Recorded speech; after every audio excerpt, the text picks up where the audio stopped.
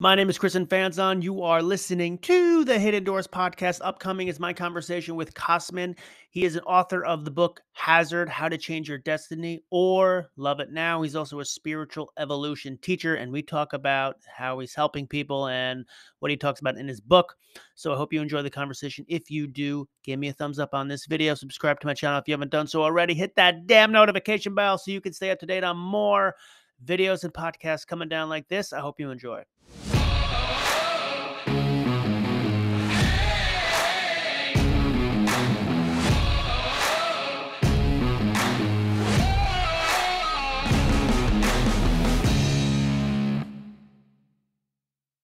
Awesome. All right. Well, thank you for coming back on the podcast. We had uh what, 2 months ago we did a we did a podcast talking about your book, something like that. And then the quality was just awful. Mainly the I was using a bad program. I got a brand new program. We're in good shape. So how have you been? How is everything going? I've been good. I've been good. Uh, Where in the world do you live? Well, I live in Romania right now so there's where I reside. Got it. I'm horrible with geography, but Romania. Well, so it's next to Ukraine. Let me put it like that. Got it. Okay, so your people are probably on edge right now, huh? Yeah, I, saw, I saw a lot of people with water from buying water at the supermarket and things like that. Yeah, it's a crazy freaking world. Yeah. Hope every, hopefully just everything goes okay and you guys are safe and everything. Um, but yeah, how uh, how have you been? You doing a lot more promotions on the book review? I know you got the book that came out. What how's that going? Yeah, it's it's going. I actually uh, scheduled some upcoming interviews for it, and uh, nice. Yeah. So, what, did you self-publish, or is that published by a, a publisher? No, it's self-published. Nice. You got yeah. Uh, it's self-publishing is so easy now with the technology these days that you might as well just self-publish it yourself. You know. It is, but if you don't have a know-how and what this entire process entails, then you're up for some challenges. Let me put it like that. Yeah, I, uh, I hear you on that. Well, let's talk all about it, but let me give you the chance to. Why don't you just like introduce yourself a little bit and say what you do? Because this way, everyone gets to know who who you are and what you do and what what you uh, what creations you've made. This book is one creation. I'm sure you have other things. So what what are you? What's your little intro? So my name is Cosmin, and uh, basically I uh, help people reconnect with something bigger than them. I call it the universe, or you can call it endless love, or uh, sometimes I uh, speak about the source, quote unquote.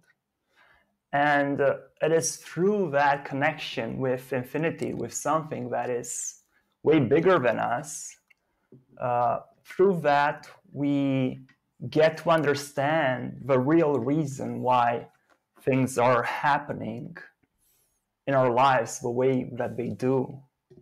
So basically, I, I help people overcome their fears and their struggles with deep rooted insecurities or limiting beliefs that they might have, even by, by reestablishing that connection with the universe by got it making that link and through that you as i said you get to, to better understand why the struggles that you face or the challenges that arise in your life uh, come about. Why do why are they there? Got it. And one of the biggest ways that you can show uh, people how to do this is through the book that you have. But do you have anything else? Do you also coach on the side? Like, what other things do you do outside of the book? Yeah, I, uh, I also offer people personal, personalized guidance. So that's uh, a one-on-one coaching with them. Uh, Got it. Um, I offer I have a long-term package and also a short-term sessions. So it's Got it. Okay. something for everyone. When did you publish the book? When was it officially published? Officially, it was uh, at the beginning of the pandemic. So right when it kicked off in April Got it. 2020. April 2020. Uh, when it, when the hell did the pandemic happen? Like At the, March. at the end of March 2020. Got it. Okay. So, because some people uh, got really, I don't know if it was bored, but they just found a channel within the pandemic of being locked down. And one of those channels is like writing. So, a lot of people wrote books, I feel like, during the pandemic, but you wrote it before the pandemic. Yeah, the, I, I Yeah. actually wrote uh, the chapters uh, individually. They weren't linked together. So I started writing somewhere in, I think, 2018. I just Got it. started writing down my thoughts about a certain topic. And after that, took a break and started to write on something else. And close to the time when the pandemic hit, I was looking at these materials and I was like, "Well, maybe I can put these together into something for the people that are struggling with their challenges, with their with the vicissitudes of life, if you will. Vicissitudes. What a freaking great word, huh? Let me see the cover of the book. So what's I I can't see it. Uh, I remember it was a really nice cover. Yeah. So I forget that is um it's a person holding a string of yarn, is that? yes, exactly. It's a very nice cover. Who did it? Did you did you do that? No, uh, I actually had a, a graph a graphic designer do this. So, and this It's is very the, nice. the back with the water and the food. Nice. Nice nicely done. So how is the book um structured? Like how many chapters are there? How do you like is each chapter talking about different things? How does that work? Yeah, so there are actually 15 chapters inside of it. And, 50? Yes. You say 50? Got it. No, no, 15. 15. Mm. Not 50. I was going to say what is like every other page a chapter. Okay. 15. No, and 15, and they're actually not related per se, but everything comes together just like life is. Like we have different things, like different facets of life that we're dealing with. Like we, we can, we might struggle with our relationships, with our intimacy. And five years down the line or 10 years down the line, we might not understand why our child left us or something else happened to us. And but it's all coming together in a way that we are not perceiving moment to moment because we're too caught up on what is going on. We have our nose and our face too close to our attention basically is too close to what is happening in the in the in our proximity. Yeah. So- it's like uh is it it's it's a similar a metaphor an analogy would be like if you took like a a really zoomed in picture of me. Let's say you're looking at me as a picture, but you Mhm. zoom zoom zoom zoom zoom zoom zoom zoom zoom like maybe here or my eye. It's so close you don't even know what the hell you're looking at. But then you take a step back and Mhm. oh, this is the person. I now Mhm. I know what I'm looking at. The analogy is when you're so like in and you can't take a step back and look at the bigger picture of things, sometimes it's hard to see how all these work together. This is actually a metaphor that I use to to to describe these things to my Ah. clients. Also, I I give uh, the analogy with a, a glass of water. So if you're if you're holding the glass of water here, you might see that it's water. But if you're holding it too close, you won't even see the glass. Not only the water. So from our standpoint, from the living standpoint, we see certain things if we were dead, for example, like this skull here, we might experience and perceive everything entirely different. Yeah. So is the because there's different ways of I guess writing um it, uh trying to explain concepts of a book, right? Maybe there's I've seen some people do it in a fiction, a fiction type of book, but the fiction story has real life uh people who have experienced real life examples, just like fictionalized names and everything. Or there's like it's a nonfiction and you're just talking through your story or you're talking through principles that are helpful to deal with. How is the book like? Is it how like how is it uh explained? I guess. I would say that it, it accounts for both. So I use examples in the book, real life examples, so people can relate in a certain way to them. And I also encompass them through principles or through through understandings, through uh, what we I say is the principles of the universe. How does the universe govern this world? Like we have the force of gravity, a force of physics, that is a rule, that is a principle that is governing every other force that is here. Got it. Okay. Uh, what gave you like what gave you the inspiration to write this book? Just the, the randomness of each moment, like the synchronicity of every encounter. Like you and I are meeting here, but we didn't plan for this. It would like what I'm speaking right now. I'm it's in this moment. It's coming up through me. It's not like I have a, a speech somewhere written on the wall and I'm reading it out loud. I don't know what I'm about to say in five seconds. So from this inquisitive nature that I had from a very young age, I was always gauging and looking around like, how does this work? Why is this so random? Like, at one moment, things are going our way, quote unquote, and a year later, everything is awful and everything is wrong, and the way that we perceive it changes all of a sudden. And then, two months later, it shifts again. It changes again to something better. We have hope again. We have a, our dreams are close to us again. And it seems random. It seems like there is nothing behind it. It's like we might not see the real reason why things are occurring the way they, they do, but that doesn't necessarily mean that God, God or the divine or the destiny doesn't know.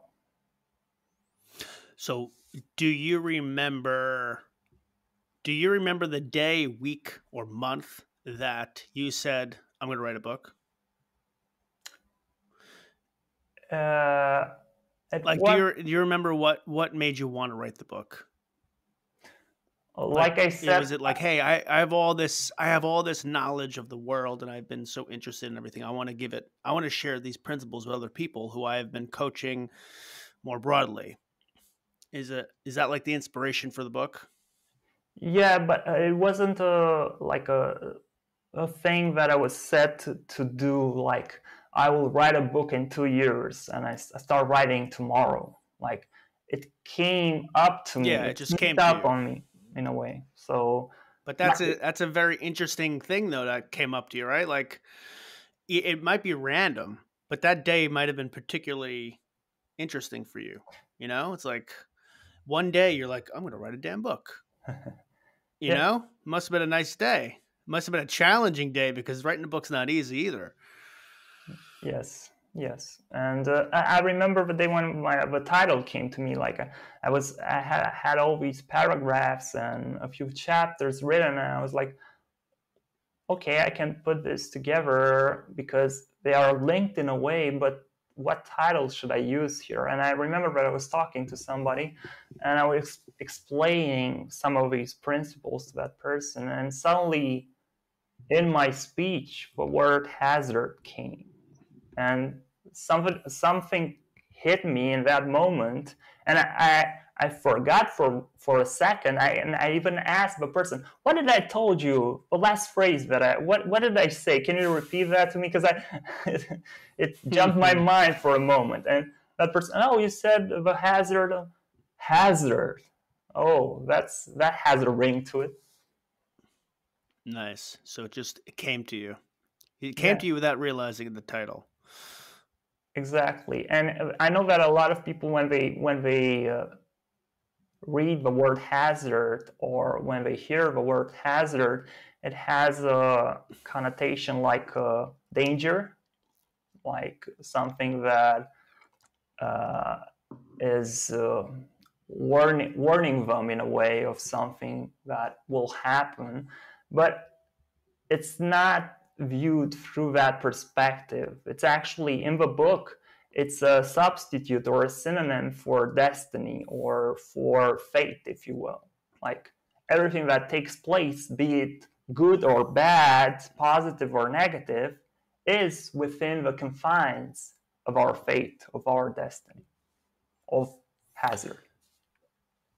So what um like what got you to you said you've always been like this, where you've always been interested in these types of theories and principles at, at a very young. When did you start? At what age did you start becoming interested in this type of stuff?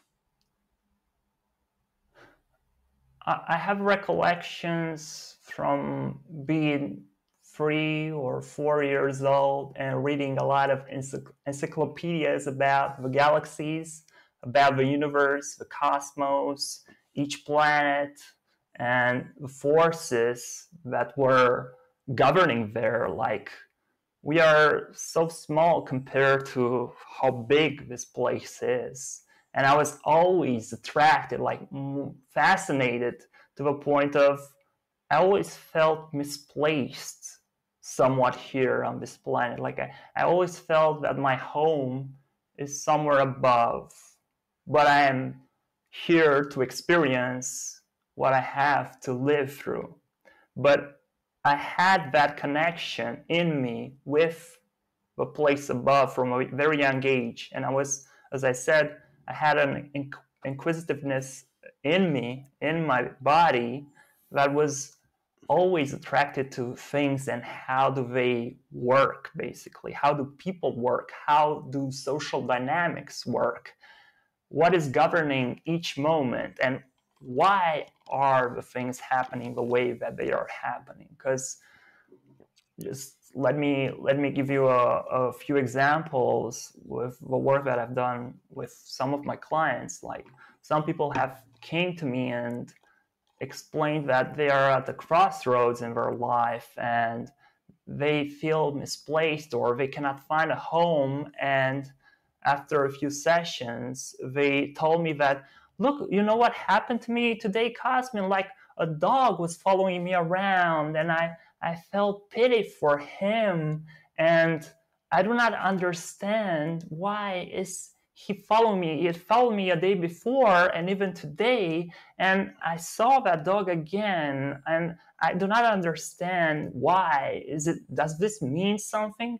And I remember that I told that person that, look, in a way, that dog is trying to tell you, is trying to show you that you are like him, like you are searching for a home. You are trying to find your place, just like he is. It might not be that obvious to you, but it's signaling to you where you are at in that moment. You uh what's the right word? You you seem like a very deep thinker. so let me ask you this question. Do you think because you explained that you feel like there was a connection somewhere else, but you're experiencing it, experiencing it here on planet Earth. Um, I have a I have a th- theory slash feeling of this like to me this brings in a lot of things a lot of different topics religion is one mm-hmm. because religion, you always feel like there's something like more. Um, science of just like what is the universe? Are we? Is it never ending? Where does it go after that? And Mhm. here's my thinking, and we'll see what you think. One, I feel like we have to be a multi-universe type of world. I don't know how to explain it, but if we're like, I don't know if you've ever seen it, but if we're like one universe, there could be like thousands and thousands and millions and billions of universes, right? Mhm. In my head, this is my theory. In my head, we are a tiny, we're so small that this is like the picture that I was just talking about. We're so small that we don't know what we're what the bigger picture is.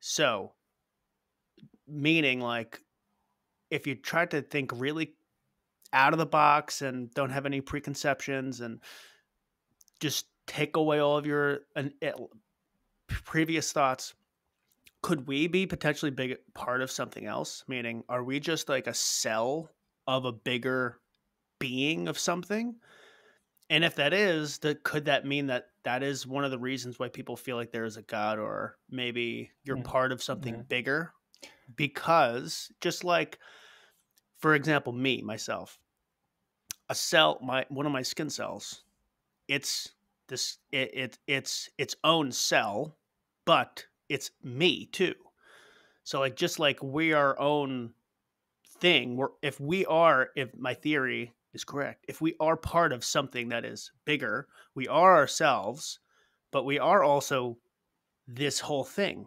And maybe this maybe this what a, what we are a part of this whole bigger being is god or something that we think is god and that we feel connected to. Mhm. but we are we are so microscopic that we can't even figure out what we're part of. It would be the same way as a cell on our body has no idea it's part of me. It has no idea that it, the bigger picture is me. Like all the billions and billions of cells that make it up is me. To them like they they're working all working towards one thing. Like you know what i'm saying? Like they're Hmm. when you when you get a cut they're patching up the they have no idea why they're doing it. It's just part of what they do. Exactly. but but they're working towards one over one overarching being which is me. So to them i'm maybe the god so in our and so if we take that thinking and put it to us are we so small that we have no idea what we're part of a world working towards one thing and that might bridge the gap of that's why people feel like there's always a big uh, a larger being that might be like god-like that is working towards that they're working towards and that that that goes in hand in hand with science too like that is technically science but we just are so small no matter how smart we get no matter how great our artificial intelligence gets we are too damn small to ever figure out what we're really part of it's just impossible that is my theory Mhm. Good. Good. Does theory, that good make up- do, what do you think about that Well, actually, uh, you you came very close to what I'm what I'm telling to people. Uh, let let me put it like this: Think about us as infinite love, as beings that are infinite love at our core, at our depth, if you will. That essence is infinity. It's endless love, and then you, you don't need to be religious or the people that are hearing they don't need to be religious but just imagine that the universe or god made this body and it made it in a way that it forgets exactly that so on one part on one aspect we have the quote unquote god particle if you will it is in everything it is in a rock. It is in a tree. It is in our dog. It is in the sky above. It is in the ground beneath our feet. God is not just what the church painted on its roof, that old man with a stick. It is in everything, it is in every plant or ant. But that body, our body, is designed to forget that. Because otherwise, it would come to a resolution. Like, we would figure it all out and it would stop there. Like, imagine a world where everything is solved. Could it go further than that? So, what the universe does, and I, I, hope that you're following following me here, is through that infinity that lives within each of us, in each animal or each body, it cuts us from that with our identity. So uh, our identity is our beliefs, our convictions, the thing that we say, oh, I'm up against that. My values are this. That is our the, the energy pattern that I call me or our identity. And it's somewhat of a mismatch between that identity, that body that is presented here, and the particles that are infinity, that are linked to the source that I was describing earlier, that are linked to God or to the universe or infinity. And we are acting from this, and at the same time, we are connected, but we forget that connection. We forget that we're endless love. It sounds very similar to what I'm saying. Mm-hmm. We're just saying it in different ways. Yeah. You have a very uh, elusive way of talking about it. I feel like. um. So, what are what are the principles in the book that you talk about that you think are really crucial? That Maybe not all of them, but what are the crucial elements of your book that you think people should take away from it? Well, actually, mm, let me link a little bit with uh, with what is happening right now in the world, and I have a I have a chapter there where I describe about the alien within or the stigma that people hold against something or someone. Like I don't know, you probably went through school, you went through high school, and you saw that that your uh, classmates uh, might tend to label you in a certain way or in another. They might make all these jokes and uh, ridicule you in a way. And I, I went through that actually. So I went through uh, that entire process, and they were calling me names and I was at a certain point reacting to what they were doing until I learned that, oh, they are just placing that label, that stigma onto something else. Why are they doing that?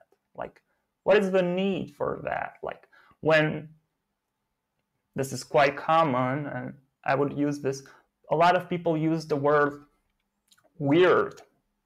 Like, weird. When someone says, oh, that person is weird or that situation is weird. It just means that it's, un- it's not comprehensible to me. I do not understand it. That's all it means. Or crazy, the word crazy. What, what does crazy really mean? It means something that I don't understand, hence, I label it as weird or crazy. And I use these labels in order to kind of mitigate the fear that I have for not knowing. Because I'm scared of what I don't know, of the unknown. And I say that, oh, that thing is crazy because it is linked with my fear of. So, in other words, if I deem it as crazy, my fear is lowered in a way because I know that now I'm approaching that event as something that is unpredictable, as something that, oh, might be dangerous, might take me by surprise.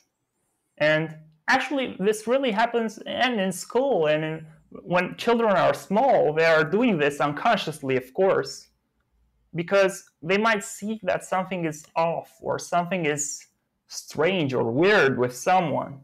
And they might not know where to point the finger. Like, why is that? But in order to better cope with the situation, with their fears, they will use that stigma or these labels in order to put a shield, a little bit of protection between them and that thing or that person. Uh, yeah. Um, I, I, I, my another thought of, on this is like those tend to be lazy words too. You know what I mean? In in the sense of like, let's say right now, you the way you're talking, you were doing that in like elementary school, or you're in school and you're doing that, mm-hmm. and someone says, "Cosmin is talking weird." Mm-hmm. I don't know. He's just talking weird. Uh, that's a lazy. It's a lazy word too. It's just like it's not thinking deeply about it. Cosmin is thinking a little bit more deeper about what the hell this world is all about.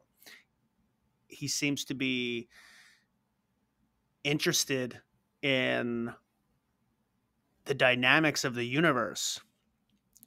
Like you have to think like for me to explain you and the way I'm talking to you, you have to like think a little harder. It's not it's not easy. So if you're just going about your day and you're lazy and especially when you're really young and you don't have the vocabulary, it's just like it's lazy and it's just uh it's not having the right vocabulary too. I think tends to be the the issue. So it's part of probably what you're saying, but then it's part of like it's just a lazy word. Like what does weird mean? Is weird mean that you think differently? And how mm-hmm. do they think differently? And why do they think differently? Have you ever have you talked to them and and understood why they think that way? And if you think that it's so different then what's your thinking on it? What what do you think about it? But that's too deep. People don't like to get that deep. And they're lazy and they apply a label and say you know what? Boom. Label. That's too confusing. On to the next issue or they just don't have the capacity or the mm-hmm. want or the need to mm-hmm. think through it so I'm uh yeah, I'm uh really conscious about the words you apply to people because mm. when you apply a label to someone when and someone else internalizes it it can it can impact how they think about themselves and it's just a stupid it's just a stupid label sometimes because you don't want to think and you don't want to think too deeply about what that actually means. Like, what does that mean? What do you mean weird? I don't know. That's one aspect I think uh, of exactly. why labels are applied. And uh, just just one thing, uh, you're spot on. But just one thing to add, like laziness or how humans are superficial in a way, at least at times. Uh, it's linked with what technology is doing to us. Like the way we're scrolling through social media or television, we have all these images that are uh, coming towards our attention, towards our field of vision, and we're bombarded with them. So we are trained to not look deeper. We are trained to look on Instagram and see a beautiful face of someone, the smile. Oh, and we connect that with, oh, that person is happy. Oh, that person has a beautiful life. While in the background, something else might occur. Yeah, I talk about this a lot. How I think we are in this age, we are being trained to, think very, very lazily. Like six second videos headlines of news articles, that is the most that people are if that is the most that you are reading and and comprehending you could never you could like the to be an expert at something or to understand something thoroughly or to be able to do a really good job at something you have to go beneath and understand mm. that's why i'm a big fan of like reading I like read a lot of books and I try to understand concepts. Um, because if you don't if you don't get below surface level and you're too lazy to, like next time, like it's like a it's like training your brain. So next time you're you're maybe at work and you're mm-hmm. thinking lazily and you have to take on a new project that involves you not understanding how to do something, but you have to learn how to do it. Mm-hmm. Do you have the mental capacity? Like, does your brain initially say, Yeah, I'm ready to do this? Or does it say, Hey, no, this is too much information. I can't do this?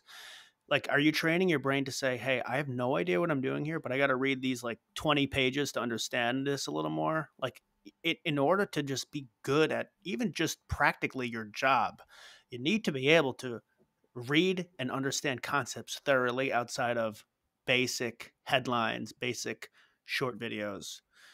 So it's it's hurting people when it comes to just learning. And I think be being good at their jobs is being mm. service level. And it's bad for uh, politically too. Everyone people can skew your com- skew your understanding of things with a stupid he- headline of an article or of like a scientific journal you know, statistics and all this stuff, statistics can be skewed very easily. Hmm. If you if you run a thousand experiments at a ninety five percent significance level, five percent of those have a chance of being wrong. So if, if I mean, there's ways of skewing things, and if you put something in a nice title and you mess with people's heads without understanding, if someone doesn't understand the concepts that's going on, you can you can manipulate people like crazy. So it is a big thing I, I like to talk about is getting below surface level. I, I would like to, to kind of uh, emphasize that on one hand, it's not their fault. Like humans are creatures of comfort.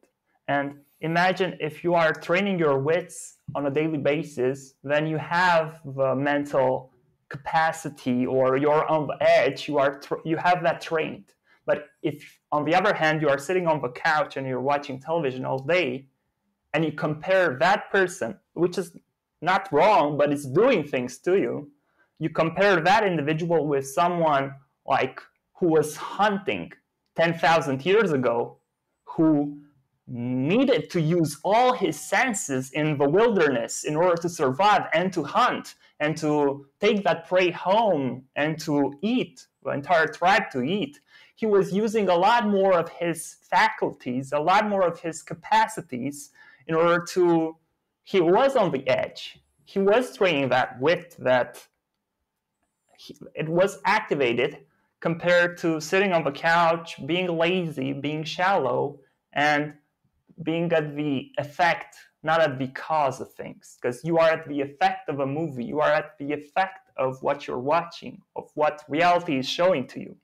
Like, look, put your attention here, watch this. Hey, just like if you take, I don't want to sound too obnoxious, but if you take a stick or a bone to a dog and you move it, he will be like, oh, dog, a bone, a bone, a bone. He will follow that bone around. Hey, there's probably a lot of steaks and bones that are that's that's what the TV is. It's on at eight o'clock. It's on at nine o'clock. It's here. It's here. It's on Netflix. It's on Hulu. It's on. I, I mean, we're all guilty of it, you know. And the advertising. I'm guilty of it. Advertising.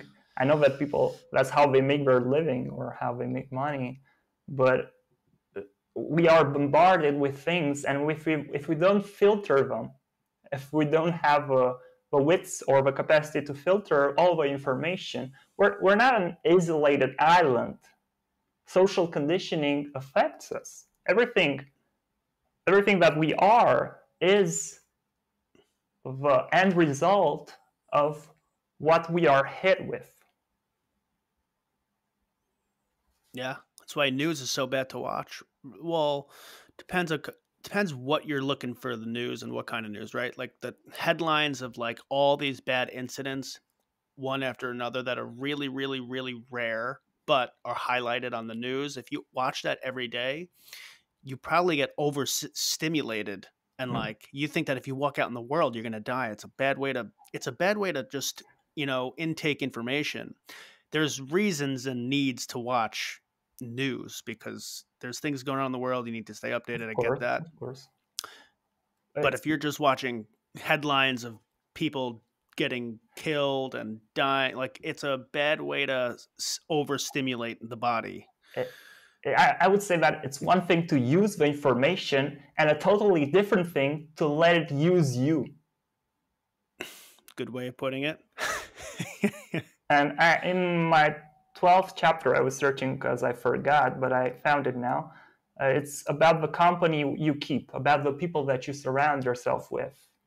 And one of the first phrases, one of the first expressions there is, I will read it. Uh, there is an old saying that you are the average of the five people you surround yourself with. So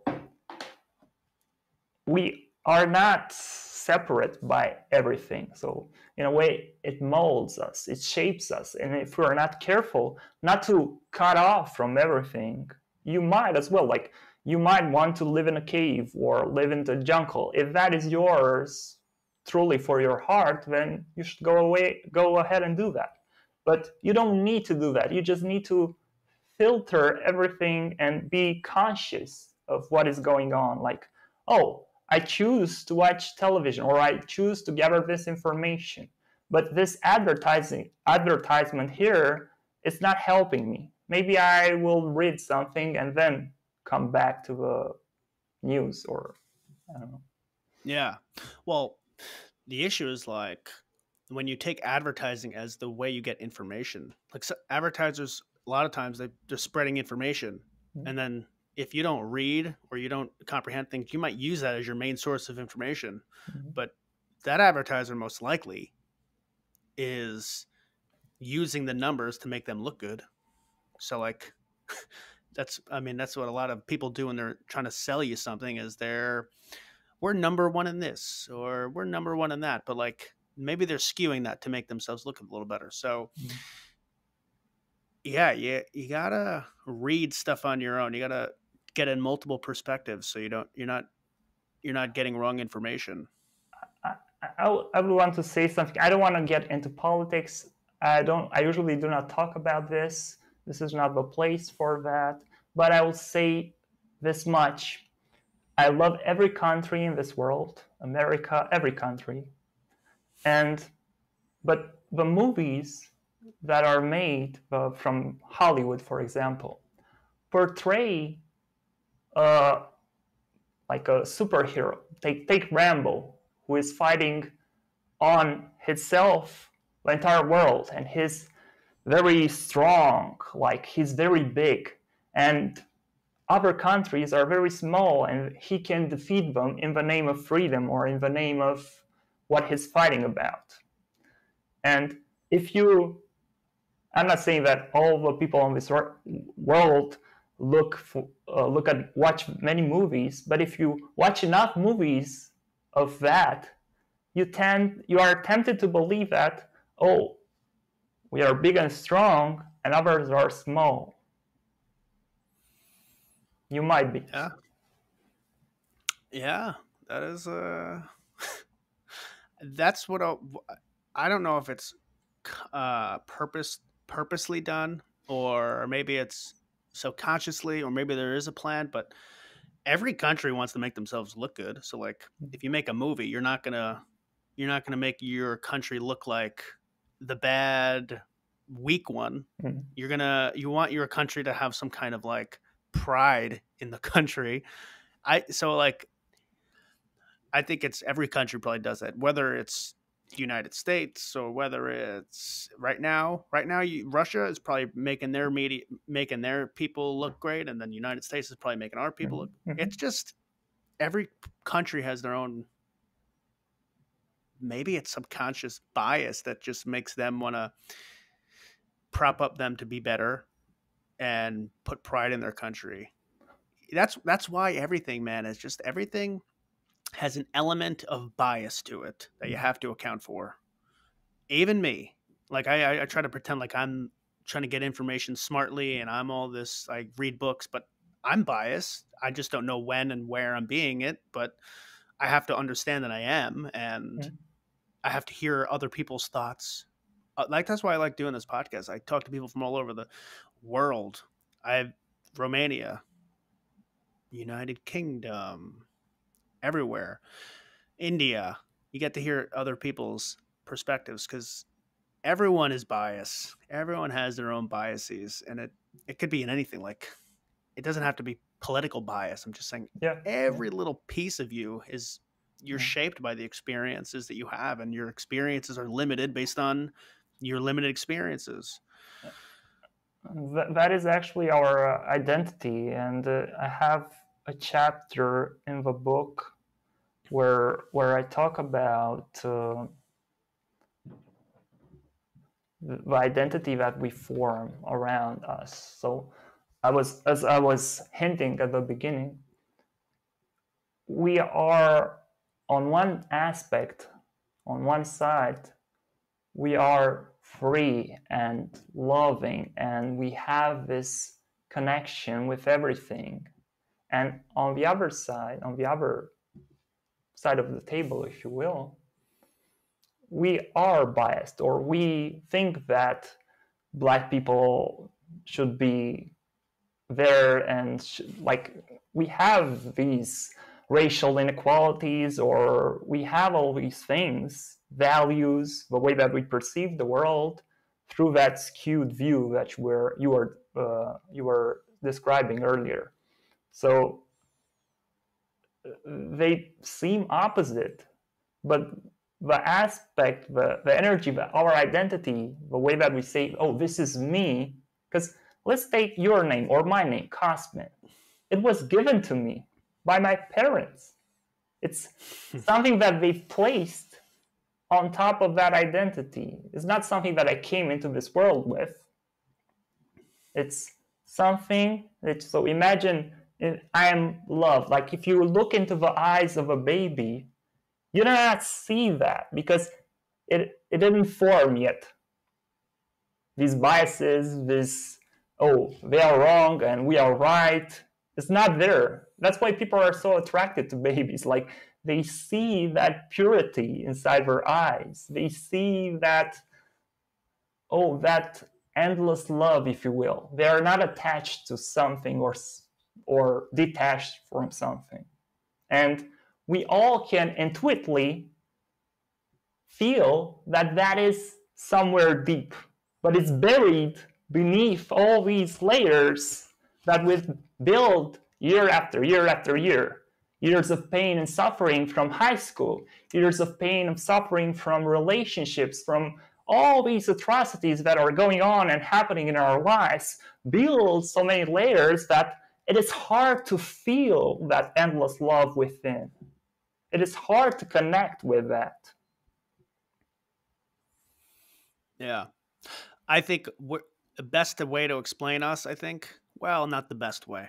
One of the ways is we're just algorithms we're algorithms that take in data and the data that one person might experience is completely different than another person. A person in Ukraine right now, their data, like let's say you're a young kid and you're you haven't experienced anything but war, you're going to have a very different way of interpreting information than someone who lived in a place that has luxuries and has never had fighting. Like those are two very different people, but it's not their fault. It's just the way that they're intaking information is very different. One person is seeing people getting killed and shot and family members in war. Mm-hmm. Another person is experiencing the luxuries of on a beach and having mansions. Like, yeah, it's just like those people have will have different experiences and we're all we are is algorithms. We we get if you feed an algorithm information,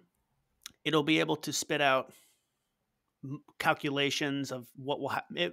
Like an algorithm, right? You feed it information, and it can maybe like estimate or project how to what the likelihood will be next. Like, oh, mm-hmm. I've seen war, war, war, war, war, war, war. Likelihood is probably more war, war, war, war. Or, and it's just we're just algorithms feed feeded fed wow fed a lot of information and we're trying to work through that and when you have a global world everyone has different experiences and it's very it's it's just a strange thing. We're just we're just fed information, and that's that, and that's why I, I say so much again, like I just said a million times before. The more you read, the more you talk to people, the more you can like break your biases, because if you're only limited to the very small amount of information that you're taking in, your algorithm is going to be flawed. Mm. But if you are taking in information from all across the world or different experiences, I think you have a better algorithm. You can see the world more clearly. And and we're still going to be flawed because the earth is a speck of the universe. So even if we can have the full global experience, which is a lot, you still won't know everything because you're going to be a speck of the universe. So either way, you're damned. either way, you're going to be you're going to be uninformed. There's no I guess there's no there's no winning. it's a, it's a hope, it's a dream. It's a mirage, I, I might I might say. But we, we are we are being played by our genetics also by our DNA uh, it's it's the same way as you described that uh, that uh, that algorithm uh, analogy, and it's feeding us information. Our DNA is feeding us information, but there are ways to transcend that. If yeah, what are those ways? Like, um, how to put this? Let me let me say that every individual is unique and what it needs in that particular phase of life is unique. You cannot give someone that doesn't see beyond the room that he's in some information that is outside. It might you might think that it inspires that person, but it might also backlash. Like it, it might it might he might not understand. He might go like, "What is this?" this is crazy what is this it's it's too much for me and you need to be sensitive enough and to modulate enough and in, in, in my teachings as well when i when i speak to people I, I try to be as careful as i can to kind of spoon feed them the information to not overreach to not go to something that it's too far out there for them because they will not comprehend and they will shut that down. And it's not helping them. Like, imagine that you are telling a two year old, Oh, is this war going on in Ukraine and Russia? And like, and you're explaining these complicated concepts to that two year old. He will look at you and, like, What are you talking? Are you mad? Like, what is this? it's not appropriate for that person in his development yet. It doesn't mean that 10 years down the line or 20 years down the line, that information, he wouldn't benefit from that information. It just means that not yet, not in that moment. There is a, something else that is more appropriate to offer right then and there. And I like that. It's a good analogy. It's exactly how I go about like the people that come to me are usually people that have went through transformation processes, have done a little bit of work of themselves. Maybe they were they went through some coaching or they went through some stuff or they might have an innate curiosity to them but they've done something and they tried things and that that tells me actually that they are willing to to be open about it to have the discipline like if just like in sports if your coach is telling you like do this exercise and this is what will get you to the next phase or to the next step and you haven't built the, the muscle the discipline muscle yet then it will not help you because you will not be able to take that next step. So the first step is to build that muscle first. That is what's appropriate. And that's how you deal with your clients, right? And that's how I deal with my clients. I, what I've described, it sounds very esoteric, and I'm talking about the cosmos and the universe. You are the way you speak is very esoteric. Like you're an esoteric speaker. I, I do not start like when I'm speaking to to a client. I do not start with these because I start with the things that they can relate on, like their challenges. What are you struggling with? And we build from that. Well, that's good because you could lose a lot of people if you just speak of like Yeah. the universe and stuff. All right, um, Cosmin, we're coming up on the hour. Um, is there any? Well, let's get a less look at that book, and if there's anything else you want to talk about it, like where can we get a copy of it? So it's called The Hazard. It's called The Hazard. Hazard. How to change your destiny or love it now. Where can we get a copy? it is on uh, Amazon. It is the the ebook is on there. The paperback is there, and also the the uh, audiobook is there also. Are you are you doing the audio? Yeah, I am doing the audio. Nice. Very cool.